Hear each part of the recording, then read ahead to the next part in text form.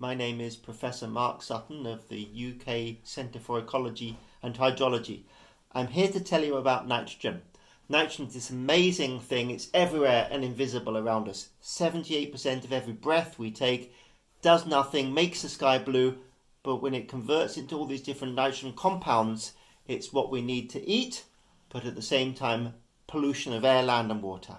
South Asia faces major challenges for nitrogen. If you look from space, you can see the ammonia levels. They're the highest level on the planet um, in the Northo-Indo-Gangetic plain. The challenges include wastewater, combustion sources, and particularly agriculture. The main fertilizer used, urea, emits huge amounts of ammonia to the atmosphere, and then it's going down the rivers as nitrate pollution, contributing to greenhouse gases.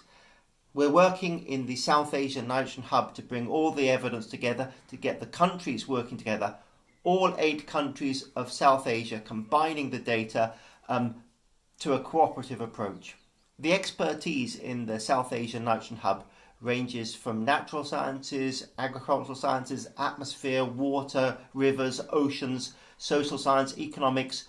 The reason for that is the nitrogen challenge crosses all aspects of society It's in air, land, water, everywhere. We're only going to address the challenge if we bring it together. Look at the 17 Sustainable Development Goals. Every one of them has something to do with nitrogen in it. It means if we take action on nitrogen, we can take action on making progress with the SDGs generally. The South Asian Nitrogen Hub is a super example of a regional championship for global change. Working with the South Asian champions um, countries all together particularly with the South Asian Cooperative Environment Programme, enables us to then come globally to work with the United Nations. We're following up the recently agreed uh, resolution on sustainable nitrogen management from the United Nations Environment Assembly. It was championed by India, worked with with our partners under the hub, and it's so illustrating how the hub working regionally with South Asia can make the connection to changing for the better for the planet. One of the big issues facing South Asia is air quality. It's some of the worst air quality. It's highly continental, huge emissions, and the wind is not so strong. It's not like Western Europe where the air is always fresh and clean, blown away. Major problems with South Asia air quality. But if we're going to address that and make changes, we need to get all the other win wins at the same time. Better water quality, uh, reduce greenhouse gas emissions, better climate resilience. By managing the nitrogen cycle together, we can get a hit on all these issues.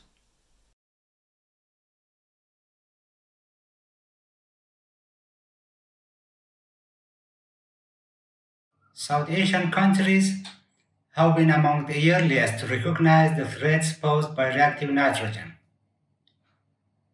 They have participated in several joint research programs and signed up to several global conventions and declarations. However, the threats posed by reactive nitrogen need additional efforts to mitigate their effects and reduce their scale within, within and across borders. The policy changes the most driving forces of transformation, and Research Program 1 is designed to facilitate this transition.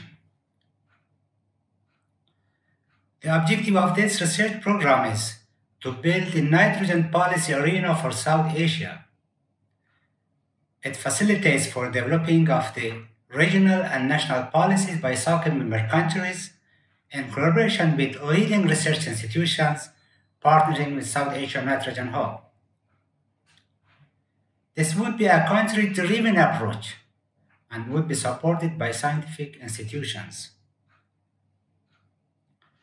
To facilitate this, we first investigate the current policy landscape in our partnering countries.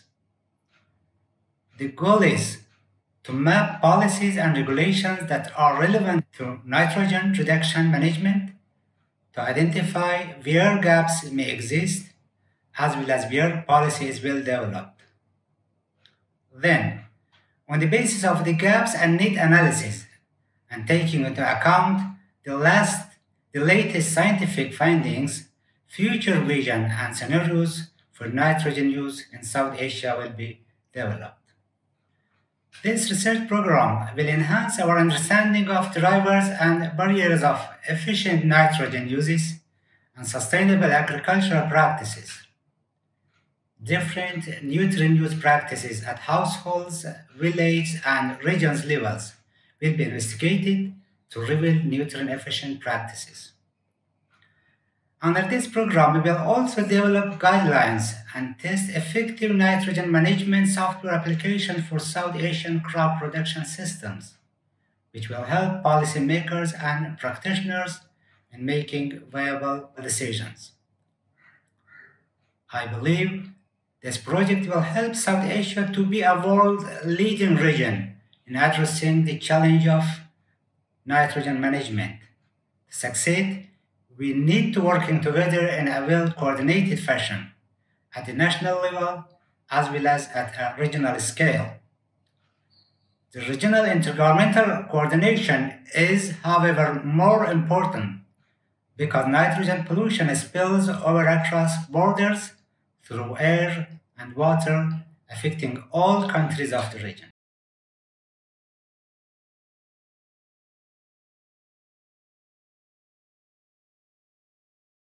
The research program 2 of South Asian Nitrogen Hub project deals with identifying solutions for increasing food production and reducing the losses of nitrogen. There are three work packages. The first work package uh, deals with identifying agronomic and genetic approaches for increasing the nitrogen use efficiency. In this, we will be identifying certain agri-management practices and crop varietal and biotechnological interventions for increasing the crop N uptake and reducing the reactive N losses. By reactive N losses, we mean that the losses of air pollutants such as ammonia, nitrogen dioxide, and nitrate leaching into the groundwaters and surface waters, and uh, reducing the emission of greenhouse gas nitrous oxide.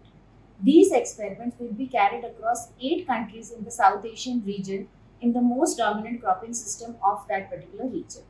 After we have identified the solutions, these solutions will be taken to the village level and then implemented in the farmers' fields to see what are the practical and social challenges that we face in, in implementing these interventions.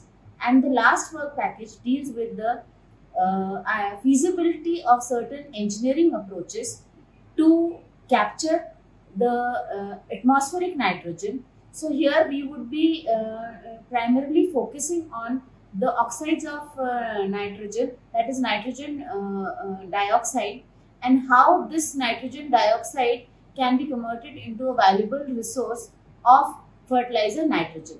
So the overall aim of this research package is to develop uh, effective and better nitrogen management practices for increasing the food productivity and uh, reducing the nitrogen losses that is basically increasing the resilience or maximizing the resilience of our agricultural systems in this scenario of climate change.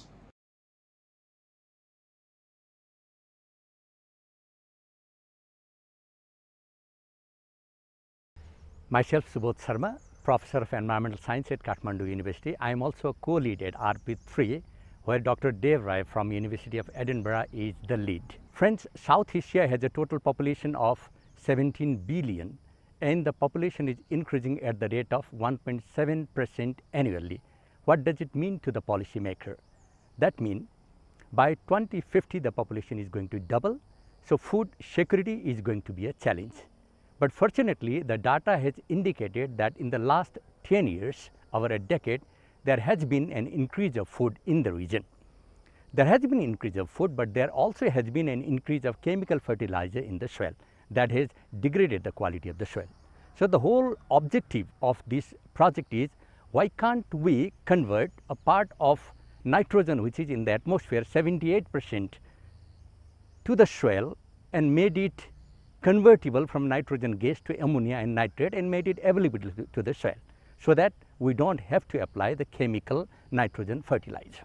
SANH project has an objective of increasing this understanding and awareness to the farmers, to all the stakeholders with three work packages.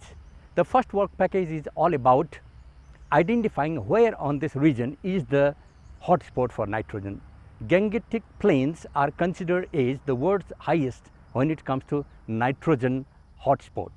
So we are going to consider lichen as an indicator and try to find from oak rhododendron forest, oak rhododendron is considered as most indicative in terms of their indicator value. And second work packages is all about looking at coral reefs as an indicator of eutrophication. There has been so much of nitrogen input through sewage. If we can understand this phenomenon, we can properly manage nitrogen and then prevent our coastal lines and the countries, the partner countries along the coastal line. And third objective is all about nitrogen education and that will be made available online for training purpose. Friends, uh, the nitrogen initiatives has indicated that nitrogen is a threat in terms of deteriorating water quality, air quality, influencing greenhouse gas and also ecosystem services and then biodiversity. But now the time has come when we will have to make our society aware that it is not only a threat, but this could also be an opportunity.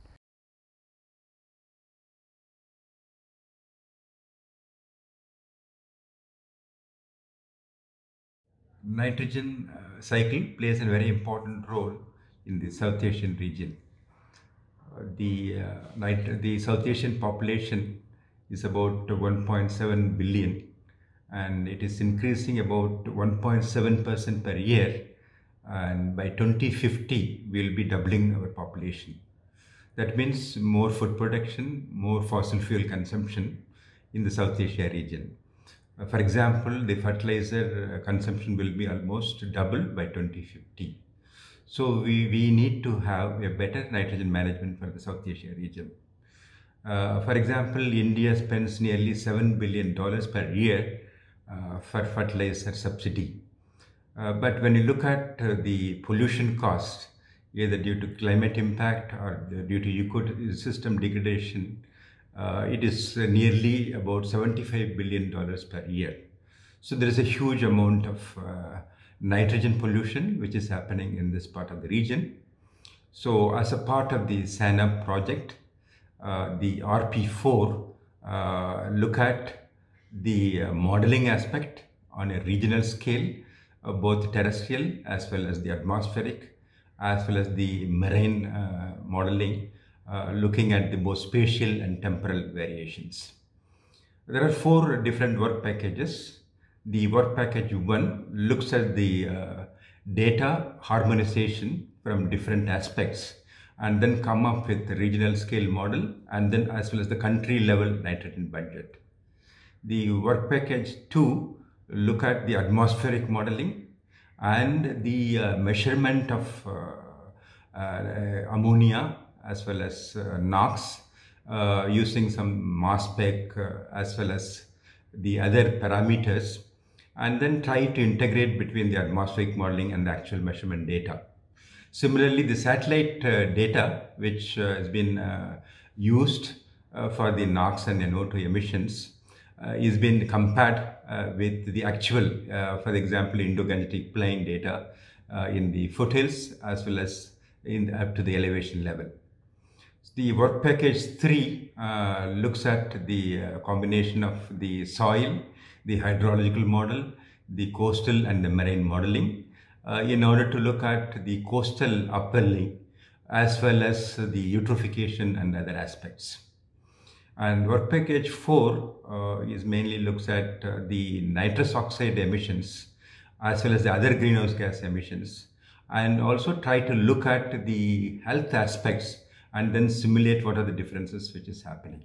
So this four, four work packages is uh, try to interlink between the other RP as well as the work packages.